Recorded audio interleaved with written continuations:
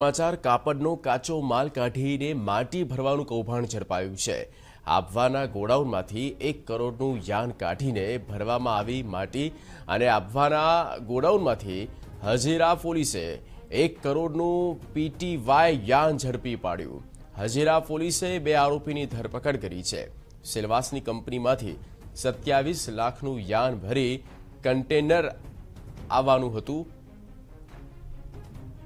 સંવાદદાતા બળદેવ સુથાર ફૂલેન પર. બળદેવ, સમગ્ર ઘટના પર પ્રકાશ પાડશો.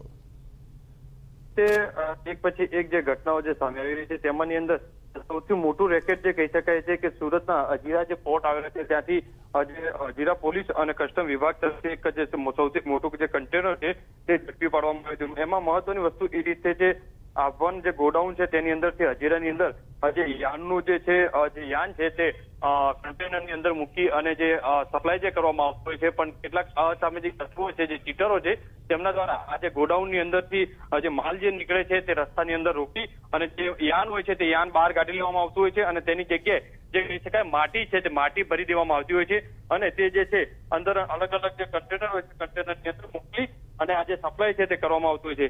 એટલે કહી શકાય છે કે ગોડાઉનની અંદરથી જે કરોડો રૂપિયાનો જે યાનનો જે માલ નીકળેલો હોય છે, તેમાંથી કેટલોક માલ કાઢી અને તેની જગ્યાએ માટી જે મૂકી અને જે યાન છે તે ફરીથી જે કહી શકાય છે પેક કરી અને સપ્લાય કરતા હોય છે. આ રીતનું ચીટિંગ જે કૌભાંડ જે છે તે સામે આવ્યું છે. એટલે સૌથી મોટું જે કૌભાંડ છે, અત્યાર સુધીમાં કેટલા કરોડો રૂપિયાનું આ રીતનું જે કૌભાંડ કર્યું છે. હાલમાં તો હજીરા પોલીસ દ્વારા બે આરોપીની ધરપકડ કરી છે અને સૌથી મોટું જે કન્ટેનર છે, એ પણ કબજે કરવામાં આવ્યું છે. આજની પાછળ કોણ પણ સંડોવાળી છે, તે બાબતે તપાસ કરવામાં આવી રહી છે. પણ મહત્વની વસ્તુ એ છે કે આખું આ જે રેકેટ છે, કેટલા સમયથી ચાલતું હતું, તેની પાછળ કેટલા માથા જે જોડાયેલા છે, કારણ કે મોટું માથું જોડાયેલું હોય તો જ આ રીતની જે છે જે આખું રેકેટ ચાલી શકે છે.